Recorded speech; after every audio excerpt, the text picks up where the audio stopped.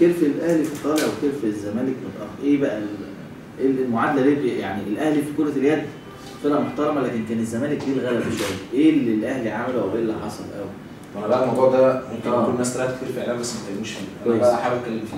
إحنا آخر بطولة أفريقيا خدناها 2012 2013 تمام.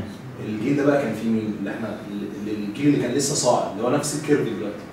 كان آه، كريم شكري الناس دي كلها ما بقى الاسامي اللي بقول لحضرتك دي مش موجودة حاليا. تمام. آه، كريم شكري علي زين عمر ياسين إسلام مصطفى محمود كرم آدم هاني هشام في الجول هادي تسع لعيبه آه. تسع لعيبه دي بعد البطولة اللي إحنا خدناها آخر في سنة خدنا فيها اثنين افريقيا ودوري وكاس. السنة دي مشينا تسع لعيبه مرة واحدة. كان حصل هي الأزمة بتاعت التغيير مجلس الاداره ومش عارف إيه. بالظبط. وجه ساعتها في قال لك اللي عايز يقعد يقعد عايز يمشي يمشي. طبعا بالنسبة للفريق كلنا زي ما قلت لك إحنا بنحاول. ما ينفعش إن إحنا بالموسم الكارثي السنة اللي فاتت إن إحنا نوصل للمرحلة دي. إن إحنا لا دعمنا الفرقه والناس بصراحة وقفت معانا. مجلس الاداره الجهاز كله كان واقف مع اللعيبة في فدي ظهرنا طلبات يعني في أول بسم لينا طلبات إن إحنا لازم الفرقه تدعم ده طلبنا الوحيد اللي إحنا بقالنا سنين بنتكلم عليه. وفعلا هم لبوا الطلبات دي والدليل اسلام موجود معانا وهادي موجود معانا وعمر ياسين رجع معانا. فدي كانت أول خطوة بصراحة إن إحنا إن هي كانت خطوة إيجابية بالنسبة لمجلس الإدارة. آه، الحمد لله جالنا الترجي. الحمد لله.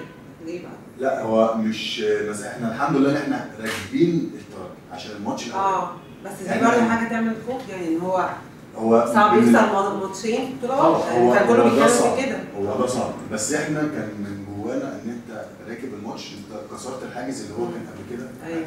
وكان الماتش الماتش ما كانش ماشي جون جون. لا الماتش كان مستريح. فاحنا الحمد لله كنا راكبين. إحنا كنا محتاجين الزمالك. ما كناش محتاجين الطرف إن إحنا نقابلهم.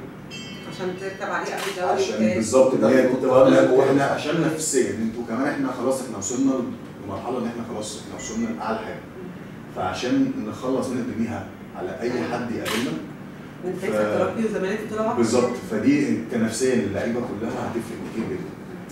آه برضه الحمد لله إحنا قلنا إن الترجي جه قدرنا إن إحنا نذاكر بصراحة الناس كلها كلعيبه كان قعدات مع بعض فيديوهات كل الكلام ده عملناه.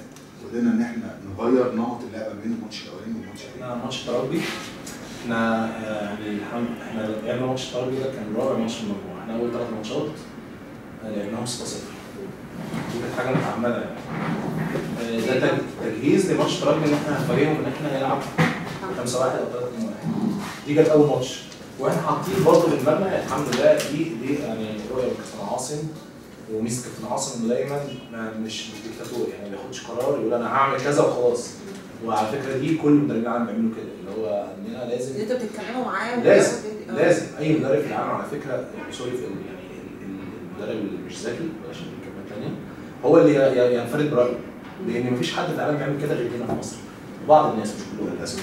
للأسف. لازم تبقى انت مرتاح في بالظبط. الدفاع مش حاجة اسمها كده. يعني نتكلم على أعلى مستوى في العالم اللي هو مين فرنسا والدنمارك مم. اتفرجي في time out في الحاجات دي انت أكيد بتتابعي مين اللي بيتكلم؟ هتلاقي لعيبه مش مدربين لأن المدرب هو واقف بيتفرج. آه سامع بيقولوا إيه. لأن هو بيصدق على كلامهم. لو لقى حاجة مش عاجباه بيقوم واقف. لا كذا ولا كذا خلاص. كده الحمد لله إن إحنا كنا جاهزين بكل الاحتمالات إحنا فعلا إحنا كنا قاعدين بنتفرج على ماتش الزمالك والترجي.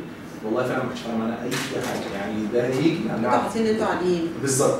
والله غير عاليين ما هي خلاص أنت وصلت ال final اللي عايز يكسب بطولة لازم يكسب أي حد. ما هو هقول الزمالك وأقول الترجي لا. طب ما هو أنا عايز أكسب.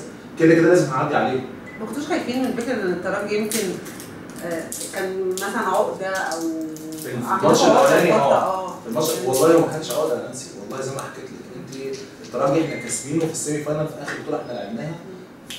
بنجومه كلهم. وكسبناهم. وكسبنا الزمالك في ال final. كنا ناقصين كمان. في. ونقصنا. كان عبد الوارث جاله صليبي في اول بطوله فايز فايز. كان عنده كاس. كسر. ده بقى مصطفى كان موقوف بالظبط. يمكن الماتش. وفي ناس اتطردت في ال- في الماتش ده. خطوط حمراء كان ماجيو ومحمد. يعني كنا في خمس لعيبة. آه. الزمالك كان كان الزمالك بقى مع مين بقى؟ كمان غير الفرقة. كان معاه مودي. مودي. مصري. في البرنامج المصري مصري. حسام الأحمر. حسن يسري يعني كانت فرقة. أيوة. ريشه كل كل ده كان كان روبي كان هناك من أربع سنين فكان لسه أصغر. وكان أيوه روبي كان ساعتها لسه بيلعب مش مدرب أيوة. فالكلام ده إحنا already عاملينه. فاحنا ما عندناش حد ما عندناش عقدة من حد. إحنا فعلا الترجي لما كان بيكسبنا في السنة اللي فاتت. إحنا ناقصين. مش حاجة. إحنا بنبقى طول الماتش راكبين. أنتوا مقتنعين بكده يعني؟ بالظبط. السبب مش إن أنتوا لا خالص،. وده اللي عايزين ما كانش-. ما كانش في score كبير ما بيننا وبينهم. فرق واحد واخد فاول. ولو إحنا وحشين. مش هتوصلي final مش هت- مش هتكسبي الأفريقي مثلا. وتكسبي مش عارف مين فتوصلي final لا هو لو لو الفرق أو ال gap واسع الراجل يكسبنا فرق 10 الزمالك يكسبنا فرق 10 يعني حتى ماتشاتنا في الدوري مع الزمالك أنت اتفرجت يعني ماتشات كلها دراما. يعني أيوه أيوه. كسبان فرق خمسة تيجي في الآخر يحصل drop. ليه؟ مفيش بديل. آه، ممكن مفيش مثلا. آه ليدر جوه الملعب يقدر يسيطر دلوقتي على رتم اللعب.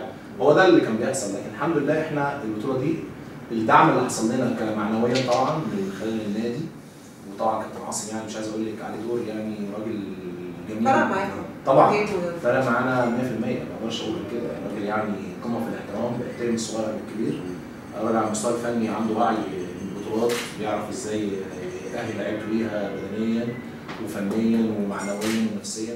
كفاية إن هم الماتش الاولاني فهم لو درسوه صح هيلعبوا خلاص. فايقين الماتش الأخير.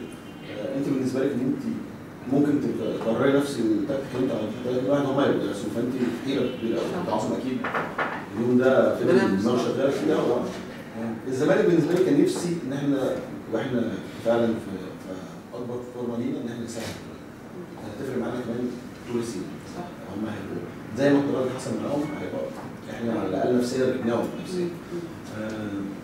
الماتش الأخير بقى الماتش الترجي بعد ما خلاص الترجي كسب الترجي فعلا كان كان راكب ماتش الزمالك من الأول من الأول خالص وعرفوا يلعبوا ماتش الزمالك إزاي وعرفوا يقفلوا مروان جايز كان فايق الماتش ده.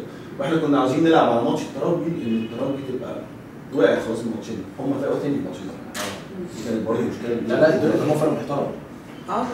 فنزيل الماتش يعني. النهائي بدأ خلاص ثقتهم ترجع تاني بنفسهم. هي دي كانت المشكلة. فاتفاجئنا كابتن عاصم قبل الماتش إن إحنا نلعب 6-0 وهادي اللي كان شارك جدا في الماتش الأولاني مش على هادي كان قافل في الماتش الأولاني هم خدوا ما بدأش يجي الماتش التاني هو هيقول لهم كل. حاجة هم رتبوها تاني من آه. الأول آه، بدأوا الماتش ده عرفوا بصراحه في أول الماتش كان كل هجمة ماشيين جول بجول هاي دي كانت المشكلة في أول الماتش إن إحنا ماشيين جول بجول بس الحمد لله إن إحنا برضه كنا يعني بنسابق. بنجيب بنجيب وإحنا آه بنسابق. مش يعني كنا عارفين برضه إيه اللي جاي الماتش قبل الماتش بتاع الترجي يا رب في اليوم اللي قبليه ده كان في تركيز أنا أول مرة أشوف تركيز بصراحة في فرقه إحنا عملنا فيديوهات كتير قوي عملنا بتاع خمس ست فيديوهات اليوم اللي قبليه. صح كتير قوي كان في تركيز عالي أنا من نوع الناس اللي ما بحبش اركز قبل الماتش خالص بحب أبقى.